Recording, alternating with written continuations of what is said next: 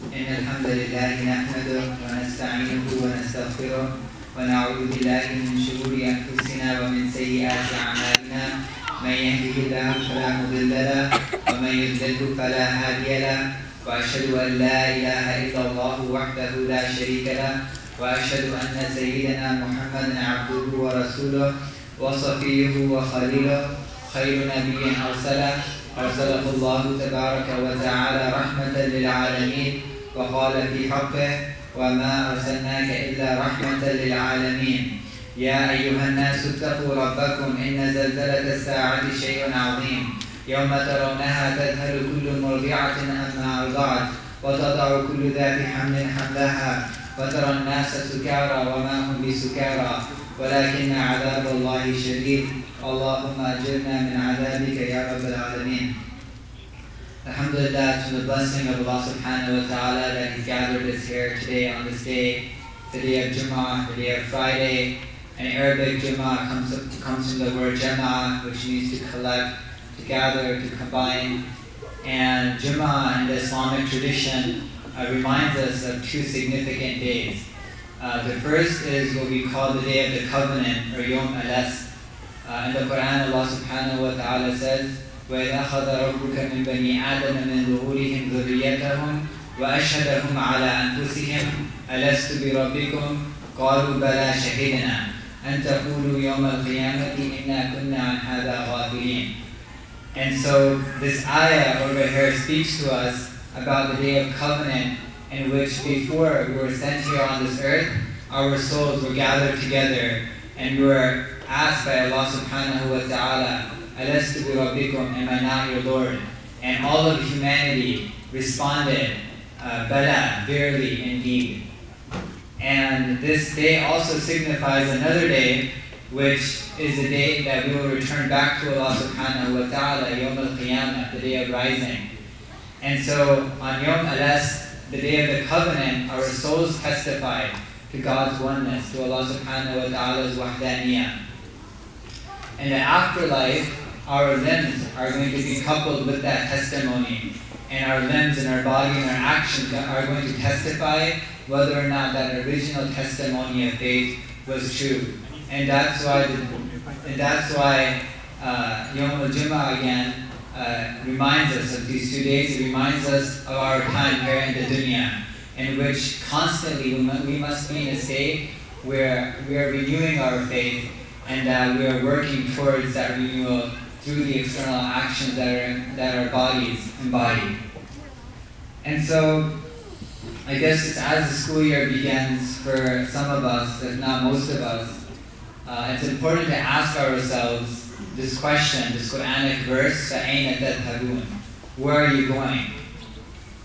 Allah subhanahu wa ta'ala says in the Quran, من كان يريد العاجلة عجلنا له فيها ما نشاء لمن نريد ثم جعلنا له جهنم يصلاها مذموما مدحورا ومن أراد الآخرة وسعى لها سعيها وهو مؤمن فأولئك كان سعيهم مشكورا So Allah subhanahu wa ta'ala in the Quran by asking us this question, is asking us to be cognizant of every step that we take in this world.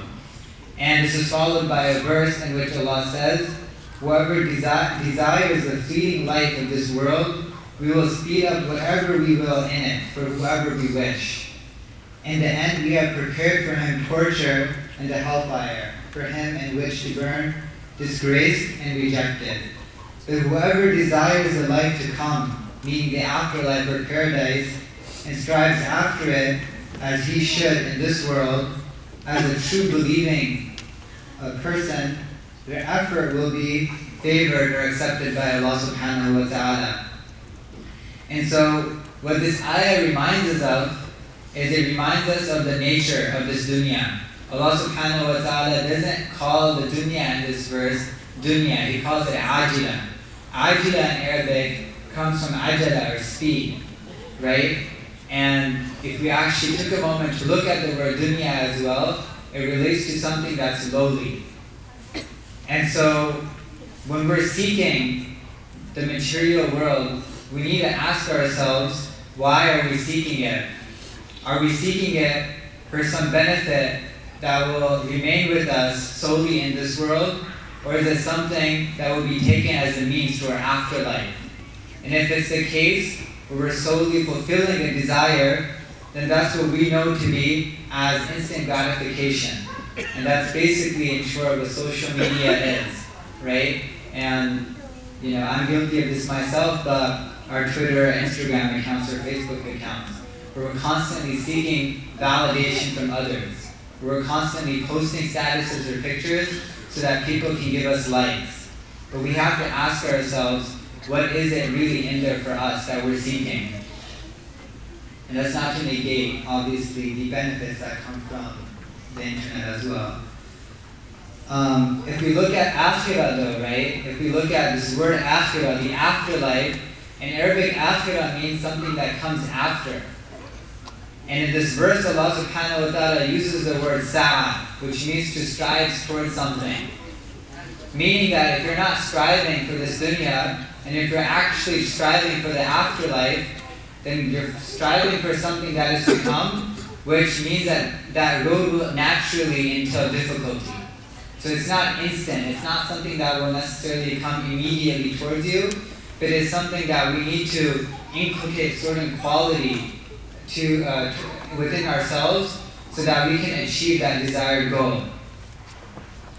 When the scholars talk about some of the preconditions or requirements in striving for the afterlife, they say that desire alone is not sufficient.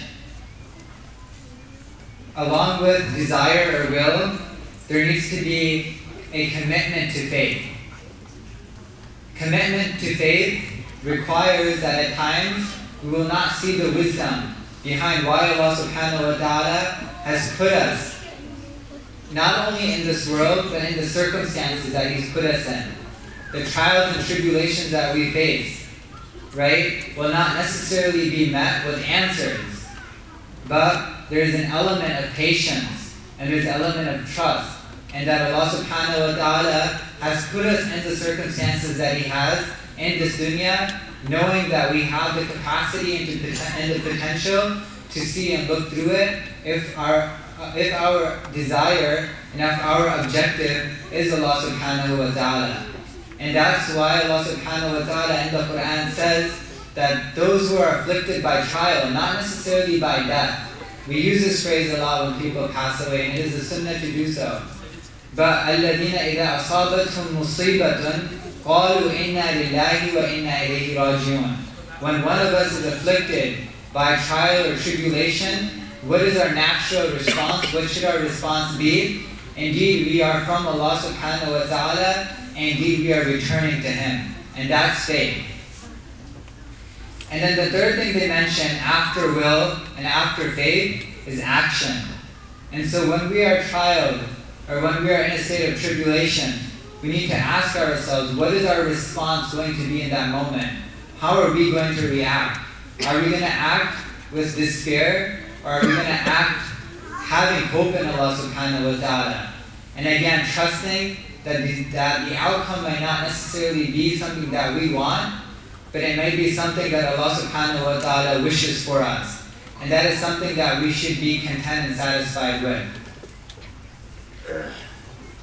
At the end of this ayah, Allah subhanahu wa ta'ala says that فَأُولَٰئِكَ كَانَ سَعْيُهُمْ مَشْكُورًا So those who whose objective is the afterlife, whose objective is paradise, whose objective is the pleasure of Allah subhanahu wa ta'ala, and, and, and doing so, following the footsteps of the Prophet alayhi salatu wasalam, then they are received by Allah subhanahu wa ta'ala's grace or favor. Now, shukr or shakara means to thank. Allah subhanahu wa ta'ala doesn't necessarily thank us for something that we do. In regards to Allah subhanahu wa ta'ala's attribute of ash-shakur or ash-shakir, the Arabic goes, هُوَ الَّذِي يُعْطِي جَزِيلًا عَلَى الْعَمَلِ الْقَلِيلِ He is the one who gives abundantly for little action that's done, for something small that's done. We know in other traditions that when we extend our hand or when we accept a footstep to Allah subhanahu wa ta'ala, He runs towards us with ten. When we reach out to Allah subhanahu wa ta'ala with little, He responds when He gives with tenfold, if not more. However, again, we need to constantly remind ourselves not to be in a situation, not to put ourselves in a situation of despair. Because when that happens, those are moments of what doubt, doubt, in which we begin to question our faith and our trust in God. This is why Allah subhanahu wa ta'ala says in another verse, وَقَلِيلٌ مِنْ عِبَادِيَ الشَّكُورِ Thankful in, in every situation are those amongst the believers that are little in, in number. So actually, being in a state of gratitude in those situations isn't easy. All of us have faced some type of difficulty or trial. But those who are not, those who are patient through their trials are not only patient to see what the outcome of the situation is, right? And then to thank Allah subhanahu wa ta'ala after the outcome of the situation, right, has come because that's usually what tends to happen. If something isn't going our way, we wait to see what happens. And if the desired outcome is not met, we make excuses, right? And we say that we start to point the finger on the other. Or if the desired outcome is met, then we're in a state of gratitude.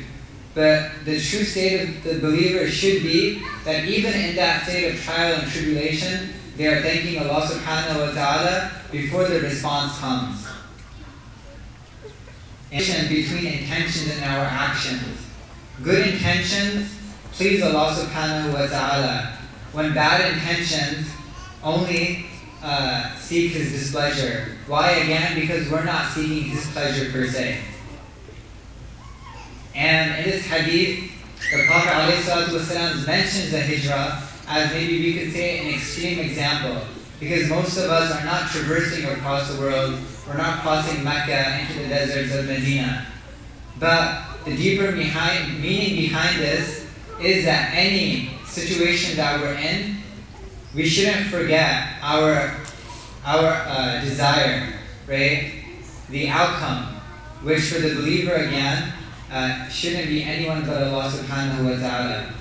But that, we ask Allah subhanahu wa ta'ala uh, to allow us to be people who are patient with His will.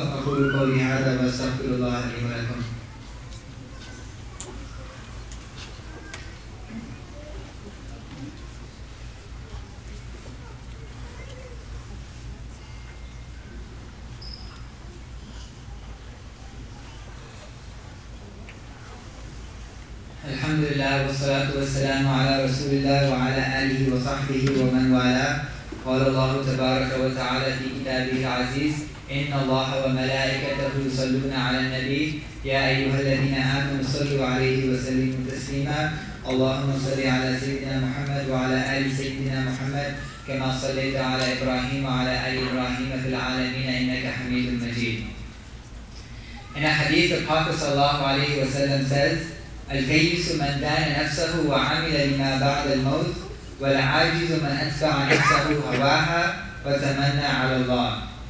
The intelligent person is one who keeps himself in check constantly and seeks and acts according to the afterlife. However, the foolish individual is one who follows his desires and places false hope in Allah subhanahu wa ta'ala. And again, to clarify, Allah subhanahu wa ta'ala has created us in, right, a material body. We live in the world, and we do have desires, and we do have pleasures. But again, what counts is the intention that we have behind each one of those actions. When we think about the time that we're spending, or the places that we go to, or the company that we seek, we need to constantly ask ourselves, this question of tabun. Where are we actually going? Is that desired place or that person our outcome or that goal? Or is there something deeper behind it? What are we truly trying to seek? And what is our mental, spiritual, emotional, and physical state in those situations? Are they truly states in which are pleasing to Allah subhanahu wa ta'ala that would align to what he is content with or would be content with? Or are we meeting those needs, mental, spiritual, emotional, or physical, again, just to make an end meet, an, um, an end meet ends for us in this world?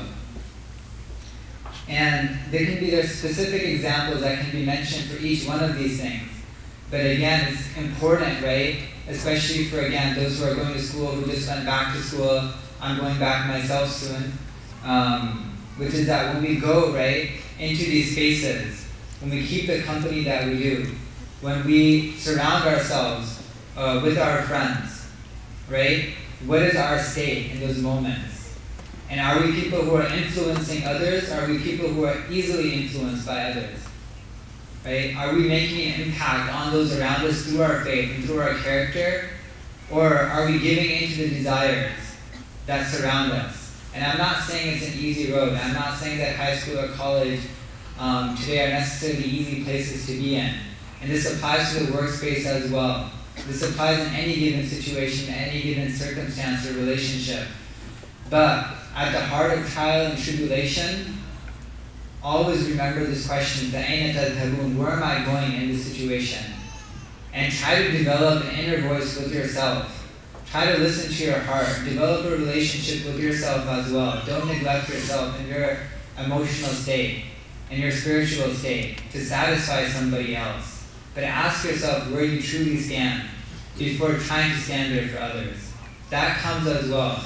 But that comes with a type of mutuality where when good company is surrounded by good company and good people are an influence to others, then naturally the circumstances allow you, around you won't even allow you to talk.